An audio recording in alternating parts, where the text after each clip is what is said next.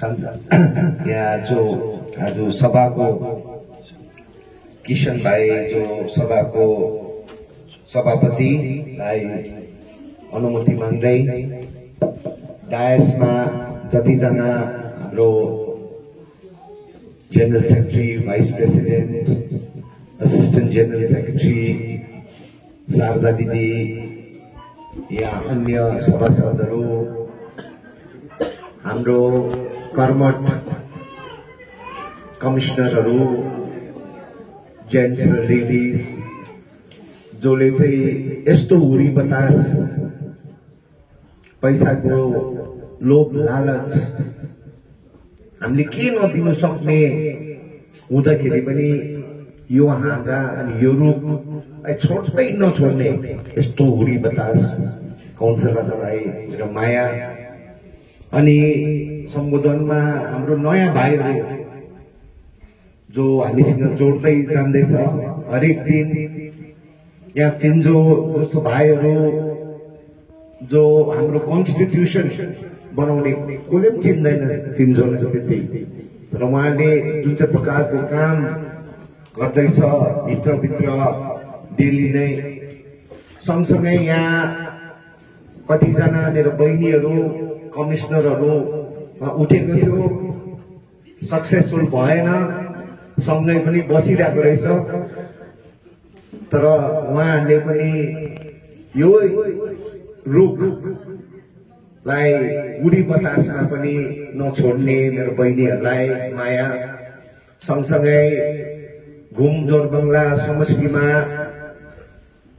हाम्रो यहाँ अलिकति हुडी बतास हुँदाखेरि बसमा पनि ग्लेनरिजमा पनि तपाईँहरूसँग कतिजनासँग भेट भएको थियो त्यो समय त्यो समय पनि मलाई लाग्छ मैले तपाईँहरूलाई धन्यवाद दिएँ फेरि एकचोटि तपाईँहरूलाई सबैजनालाई आज जतिजना यहाँ हुनुहुन्छ जतिजना घुमजोर बङ्गला समष्टिमा बेलुका टिभीमा हेर्नुहुन्छ होला सोसियल मिडियामा हेर्नुहुन्छ होला घर घरमै बसिरहेको छ हामीले साइलेन्ट मेजोरिटी भन्छ हो हामी यहाँ सबैजना हामी पार्टनर हो कार्यकर्ता हो।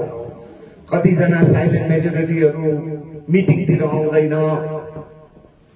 जुलुसहरूमा आउँदैन तर तर हाम्रो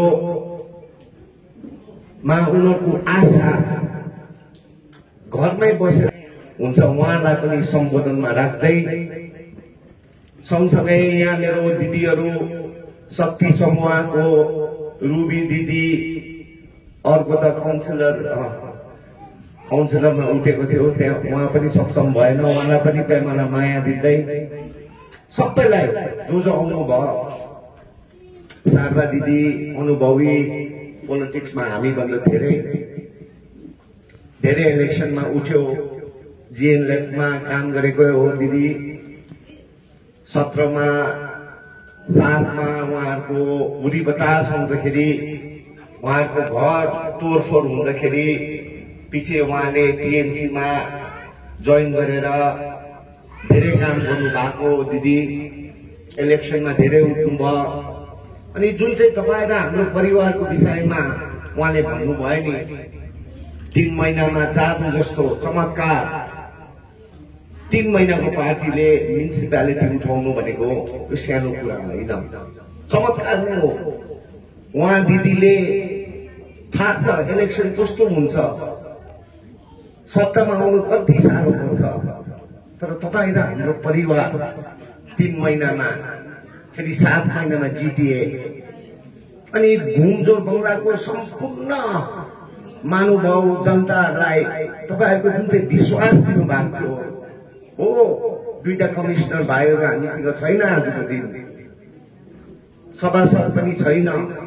तर उहाँहरूले जे वचन गरेर गाउँ गाउँमा गएको थियो त्यो वचन आजको दिनमा सकि नसकी हामी पुर्याउनु कोसिसमा छौँ। सकि नसकी हामी गर्नुपर्छ। उहाँहरू हाम्रो परिवार छोडेर गयो होला। बिजनबारीको भाइ पनि हाम्रो परिवार छोडेर गयो। तर उहाँ जुन चाहिँ वचन दिएको थियो त्यो झन्डा मुनि। त्यो तपाईँ र हाम्रो परिवारको झन्डा मुनि त्यो वचन पनि आजको दिन उहाँ गएर पनि हामीले गाउँ गाउँमा प्रतिम भाइले गाउँमा गाउँमा गएर जे सक्दो काम गरिरहेको छौँ। यहाँ दिपु भाइ कहाँ हुनुहुन्छ? दिपु थापा। खाना खानुभयो?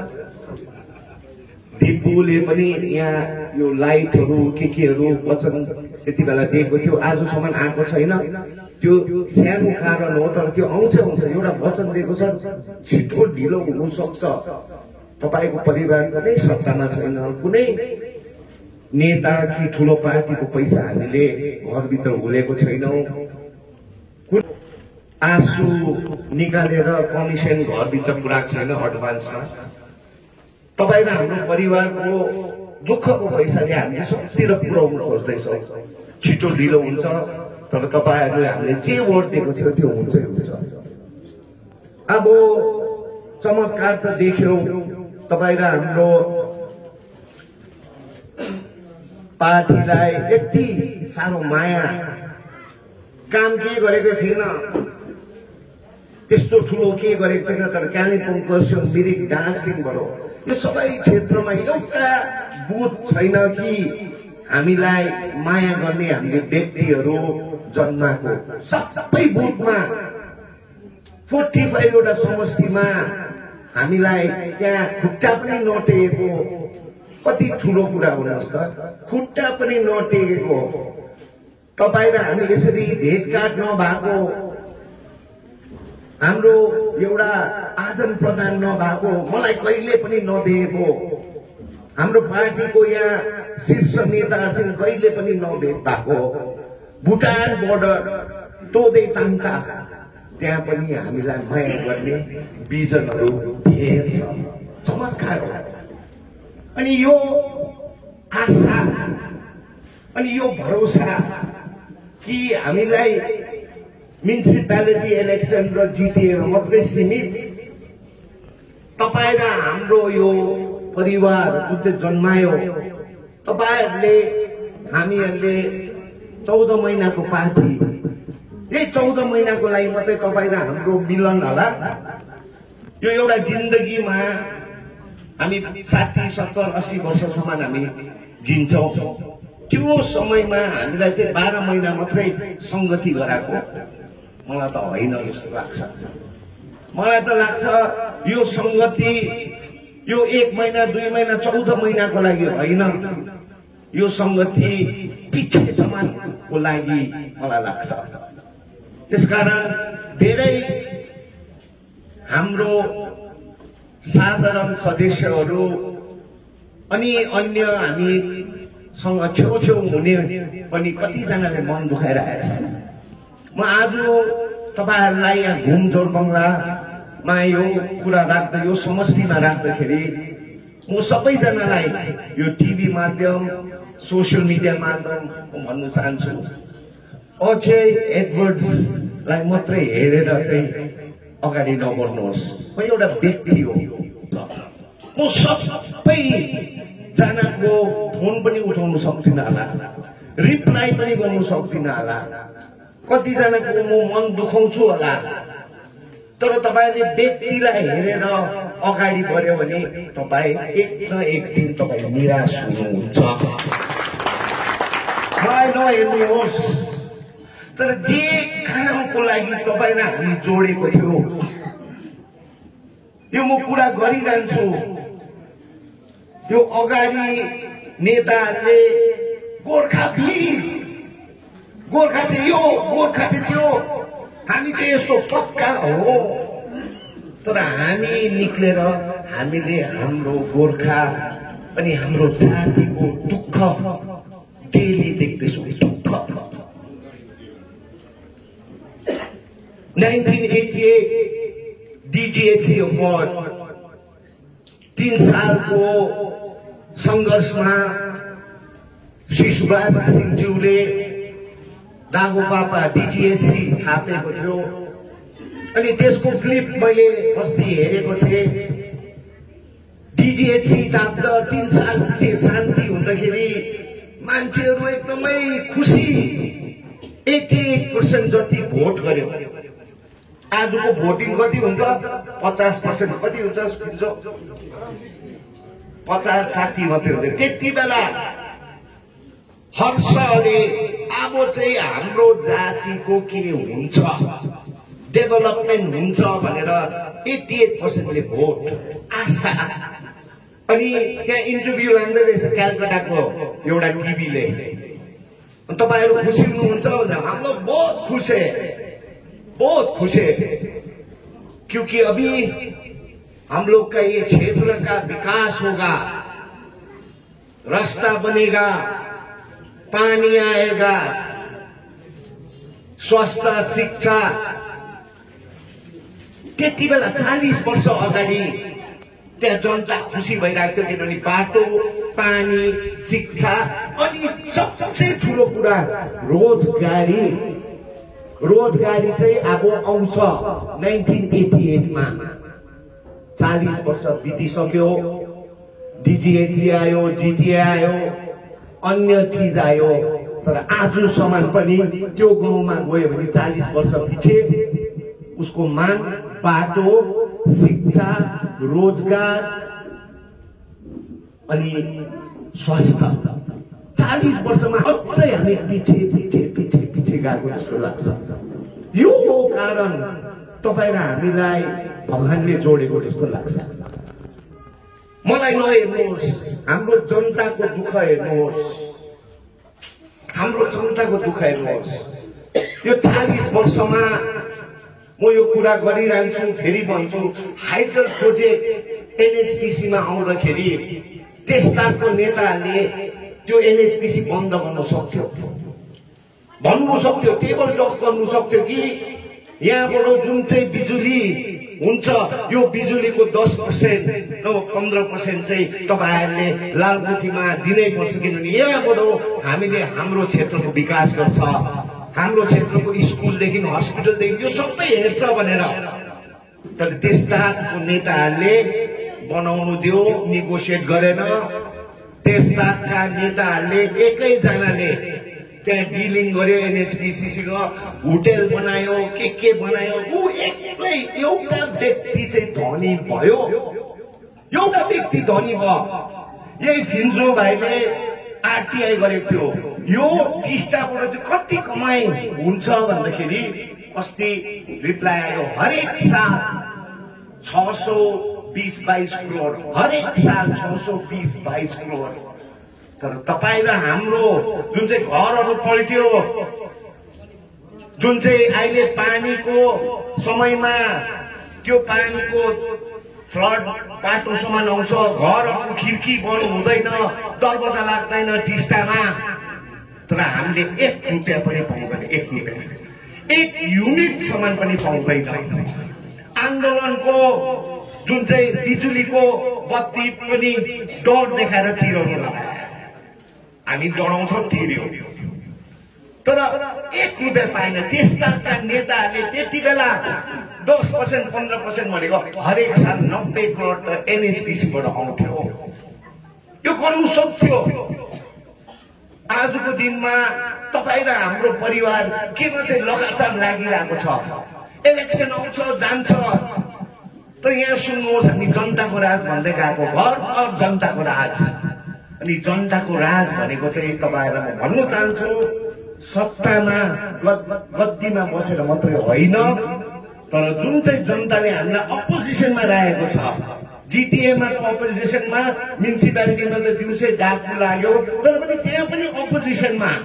तर त्यो अपोजिसन चाहिँ बलियो हुनुपर्छ किनभने यो चालिस सालमा चाहिँ कुनै नहुँदाखेरि जनताको आवाज नबुलन्द हुँदाखेरि चाहिँ जनता चाहिँ गरिब भएर गएको हो यो चालिस साल।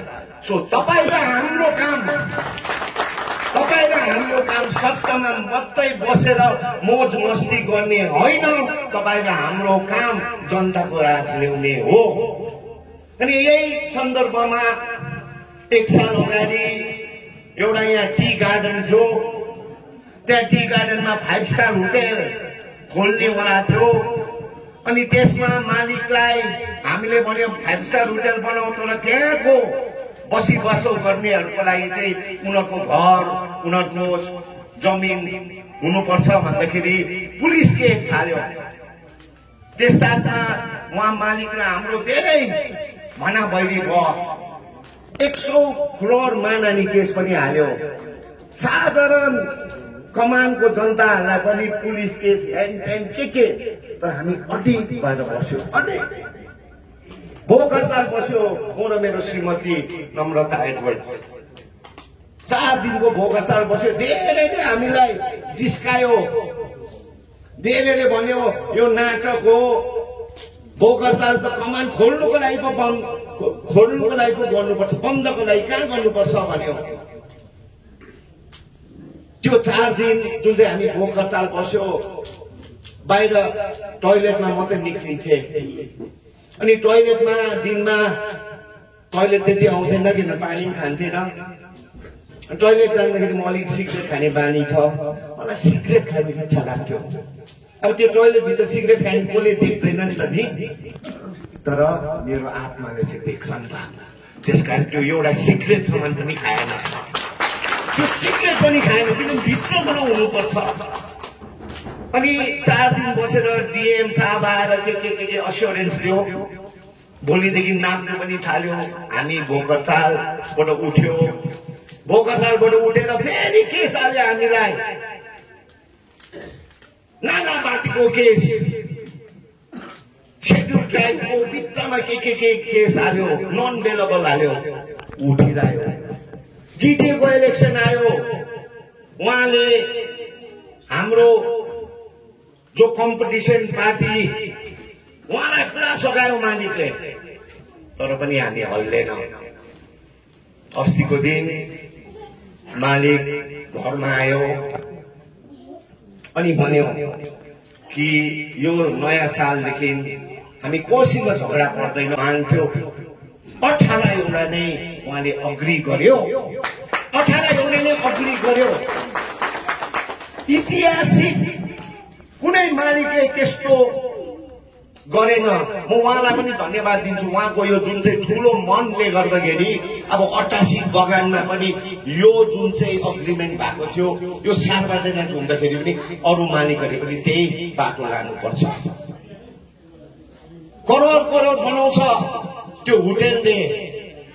करोड करोड बनाउँछ तर सँगसँगै हाम्रो जातिले पनि सँगसँगै यो आर्थिक चपेटबाट अगाडि हट्नुपर्छ यो काम चाहिँ तपाईँ र हाम्रो परिवारले गर्नेछ यो यो बुझ्नुपर्छ है तपाईँ र हाम्रो परिवारले यो पुरानो प्रथा भए के हुन्थ्यो जस्तै एनएचपिसीको कुरा पुरानो प्रथा भए के हुन्थ्यो मालिकसँग त्यो पार्टीको नेता गएर सिटिङ गर्थ्यो बिस लाखमा मिलाउँथ्यो पन्ध्र लाख गोजीमा हाल्थ्यो पाँच लाख त्यो गाउँको दस पन्ध्रजना गुन्डा केटाहरूलाई खिलाउँथ्यो छ्यापछुपै हुन्थ्यो होटेल हुन्थ्यो जनता गरिब जनता जहाँ छ त्यही हुन्थ्यो। यो काम गर्दैछ तपाईँ र हाम्रो परिवारले। इतिहास चेन्ज गर्दैछ। इतिहास चेन्ज गर्दैछ।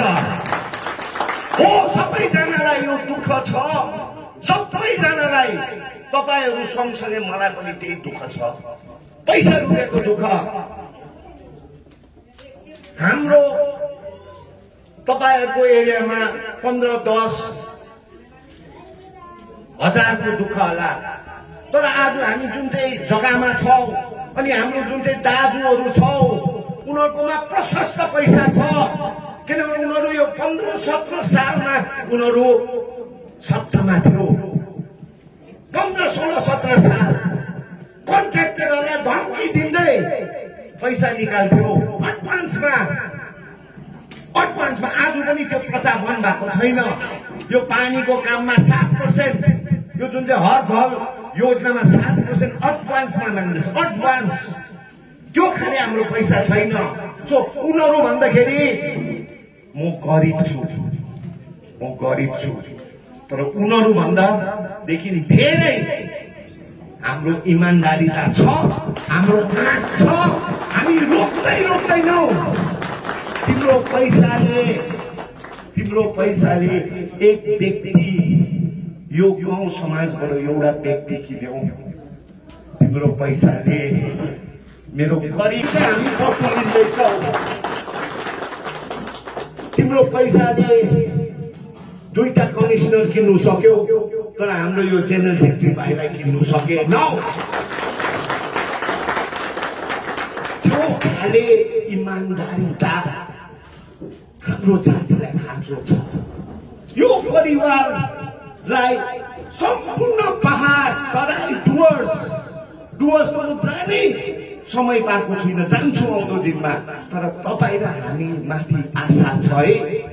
दाजुभाइ दिदीबहिनीहरू घुमको यहाँ समष्टिहरू किन चाहिँ गर्दैछ एकदमै बुझ्नुहोस् हामी पनि त्यही बाटो लाग्नु जुन चाहिँ चालिस वर्ष हाम्रो अग्रजहरू त्यो बाटो लाग्यो अलिकति आफ्नै घरको लागि आफ्नै परिवारको लागि मात्रै पोलिटिक्समा पसेर आफ्नो एकजना धनी तर गाउँ घर छिमेकी गरिब अवस्थामा हुँदैन। अनि तपाईँहरूलाई लाग्छ भने जो घरमा मन दुखाएर अझैसँग मन दुखाएर बसिरहेको छ नि तपाईँहरूलाई लाग्छ भने कि होइन? होइन।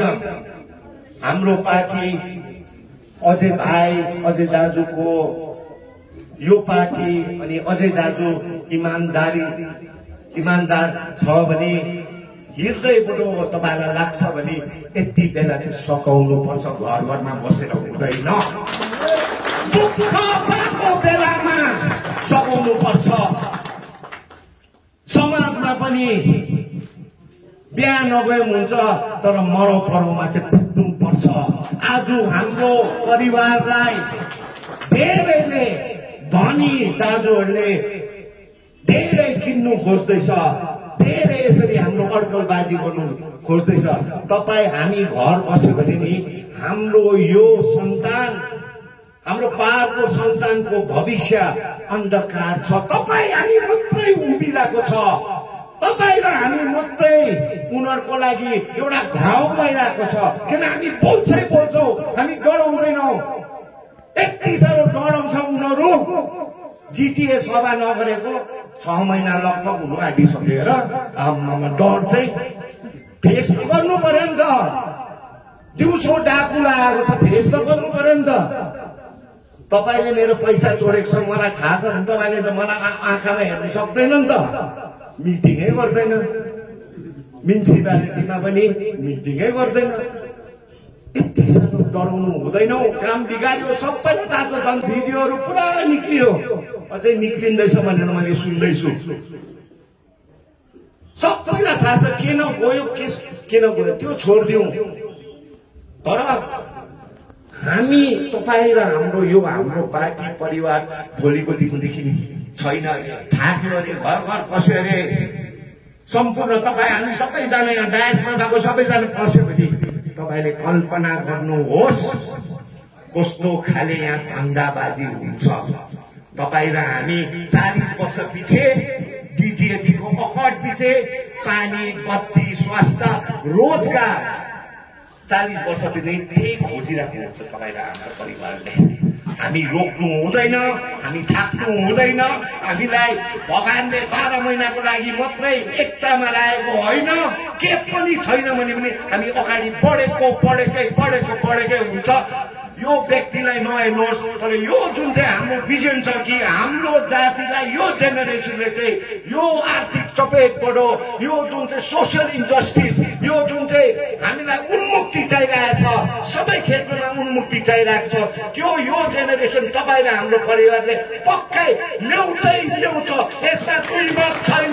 तपाईँहरूले साथ दिनुहोस् नथाक्नुहोस् मुक्सोर बङ्गला एकदमै फेरि यो पञ्चायत इलेक्सनमा फेरि बलियो भएर पञ्चायत इलेक्सन यो डाकुहरूलाई चाहिँ दिनु हुँदैन हुँदैन किनभने पञ्चायत राज भनेको जनताको राज हो पञ्चायतको राज तपाईँहरूले ल्याउनु भयो भने जनताले पञ्चायत यहाँ ल्याउनु भयो भने डिटिएको धैदारी हुनु सक्दैन ग्रामीण क्षेत्रमा यो तपाईँहरूको बाटा हो।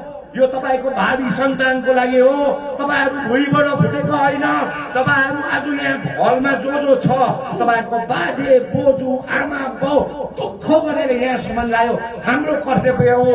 अब हाम्रो भावी पिँढीलाई चाहिँ हामी अझै माथि लानु सक्छौँ। भन्दै जय गोर्खा। जय जनता। जय गोर्खा। जय जनता। Thank you